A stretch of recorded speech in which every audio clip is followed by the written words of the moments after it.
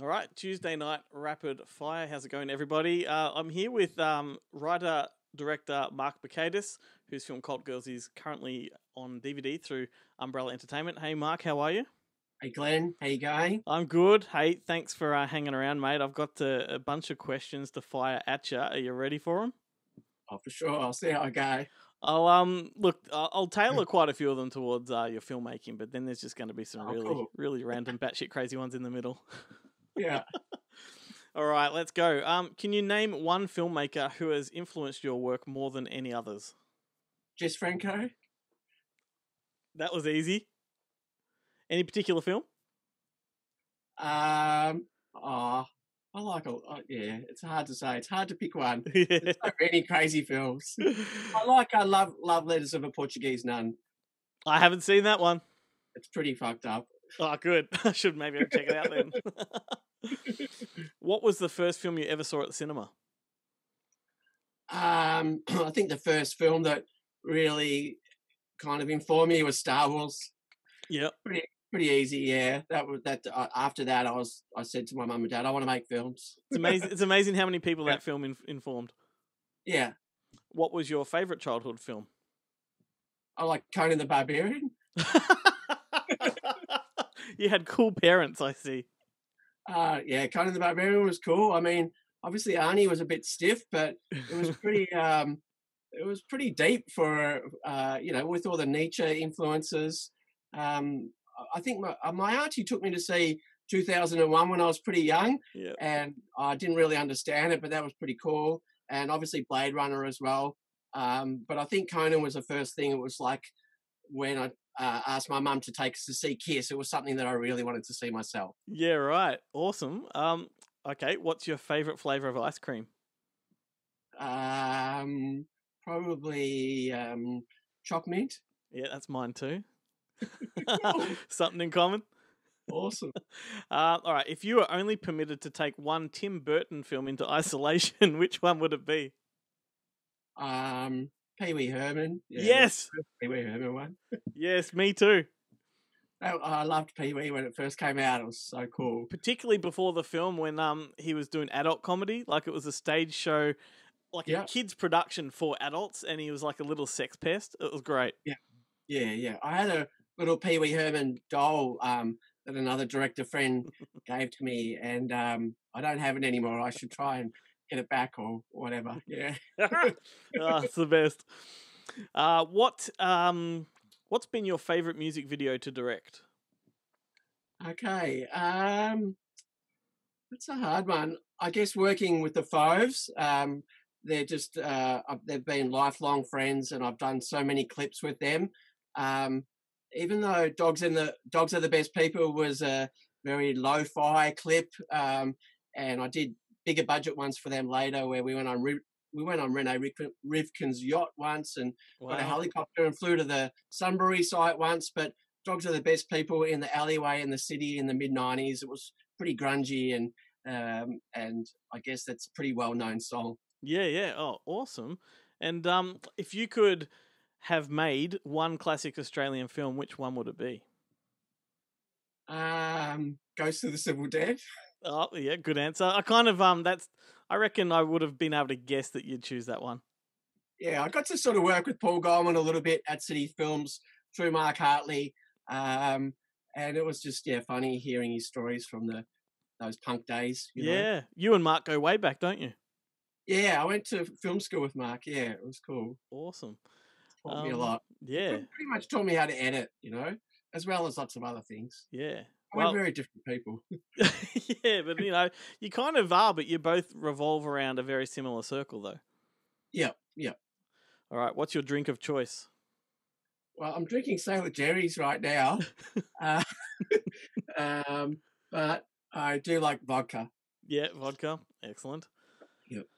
Uh, will the music from Cult Girls be available to purchase or download because it's gnarly? Well, thank you. Um, yeah, Aaron McKim, who was the composer on um, Cult Girls, um, he's yeah looking at making it into a soundtrack. So d- definitely keen to do that. You know. Well, I'll buy one. Oh, cool. Uh, it'd be awesome to have a vinyl pressing or something. I doubt that'll happen, but that would that'd be way cool. Oh well, we can Um, we can always wish. I've uh, I just heard about the the the Mandy soundtrack. How they've released uh, a soundtrack of, of, to the fake cult. You know, like the, the, the guy's got his own um, album, which is that's cool. That's very cool. Yeah. And these days with vinyl, they're doing all kinds of weird and wonderful things with the colors and the pressings, and yeah, it would be very very cool. Yeah, I'd love one. All right, here's a weird one for you. Um, have you enjoyed any Michael Bay movies? Um, yeah, yeah. I'm just I, I'm probably not informed enough to talk about it. you, you're thinking about your reputation, I, I suspect. Sorry. That's all right. Um, okay, so what's here, a similar question? What's a movie that you enjoy that might not that you might not be really ready to confess to liking? Um, oh, the Dark Crystal is probably still pretty cool, isn't it? But it's a kids' Yeah. film. No, Um, kids films are the best. Dark Crystal, yeah, you know. I'd love to see you direct a kids film. Yeah, well, I had my kids in my film, but uh, I wouldn't call it a kids' film. all right. What is a better movie, Arachnophobia or Big Ass Spider? Arachnophobia, maybe. I don't know. Yeah, it Mm. It's clearly the the best of the two. It's the scariest PG movie I've ever seen. Yeah, I'm not okay. really fond of spiders, even though I try and be all dark and you know into horror. But uh, snakes and spiders, I'm not a big fan. Oh, that's the appeal to me. The, the the fact that you know you're scared of them. I mean, I'm I'm scared of serial killers, but I'll still watch serial killer movies. Yeah, yeah. I Henry Portrait of a Serial Killer when I was um, younger and saw that. That that really freaked me out. sure did. Yeah. Here, here's a question for you that, that I didn't think of, but now that you've brought Henry up, have you seen Henry two? No, I haven't. No, It no. is well worth it. I um I was talking to one of our listeners last week about it, and he went and watched it, and now he's an unabashed fan of it too. And Yeah. it, it's a it's an odd sequel that actually matches the tone of the original, so it's worth a look. Schramm was pretty good too. Jorg Jorg Buttgereit's film that was pretty uh, messed up. yeah. Oh, you love your messed up stuff, mate. Kinda. uh, okay, how are you passing the time in lockdown? I've been lucky to be working um, working on a, a- cooking TV series for Channel Ten. Yeah, but at the same time, when uh, the first lockdown started, I just started um, cutting a lot of music videos, just using archival footage for like you know um, Snog, Black Lung, The Fauves, um, a band from Portland called Suffering for Kisses. So I just kept myself busy. I like keeping myself busy. That's what Warhol always used to say. So I just try and do the same thing. And what's the first thing you're going to do when the restrictions are lifted? uh, hopefully trying, well, maybe go surfing. Um, I'm missing going surfing. Um, but yeah, hopefully get this documentary uh, that I'm working on with Umbrella into gear. Excellent. All right, I have a funny feeling I know the answer to this, but we'll go for it anyway. Did you see Bradley Cooper's A Star Is Born, and did you enjoy it I haven't seen it at all. Um, I remember seeing the original probably at the drive-ins or something with my parents when I was young, yep. uh, and I didn't like that. so even though Kris Kristofferson was pretty cool, um, so yeah, I haven't. I, I've heard it's very good, but I, I haven't seen it. I'm pretty slack with seeing a lot of new films, even if they're popular. I, I don't know. I just look for weird things. I was about to say a mind like yours would be sort of looking for other stuff, I'd imagine. yeah. Yep. Um, final question. What's your favorite movie soundtrack? Uh, the Harder They Come is a pretty good soundtrack. Um, the Jamaican film. Do you know of that film? I do not. Uh, it's this like they uh, guerrilla style film that they shot in Jamaica in the seventies, um, and it has a fantastic sort of early seventies reggae soundtrack. Um, Jimmy Cliff sings the title song.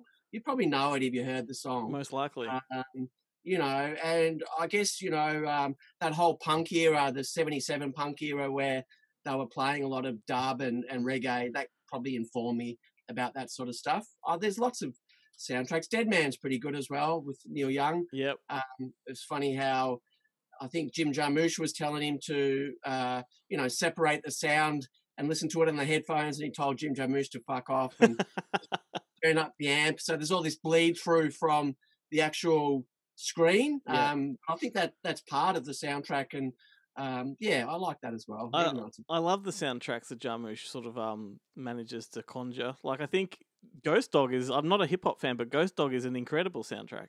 Actually, I should have said Ghost Dog because I've actually got a tattoo of Ghost Dog of the book that um, the guy reads from. Uh, Yep. a- and uh, yeah, a big one on my leg. And that the same with me. I'm not a massive hip hop fan, but that album is awesome. Um, yeah, it's really good. Yeah, it's in my top five at least. Yeah, yeah. Well, Mark, that's the end of Rapid Fire. Thanks heaps for sticking around. It's been an absolute pleasure, dude. No worries, Glenn. I, I uh, really appreciate you having me. And for everyone that is watching, uh, make sure you go back to our Monday uh, podcast. Mark was on there talking about his film Cult Girls, which is now available on DVD through uh, Umbrella Entertainment. And I'm sure we'll see you around the traps and maybe get you back on the, the show to have a much longer conversation.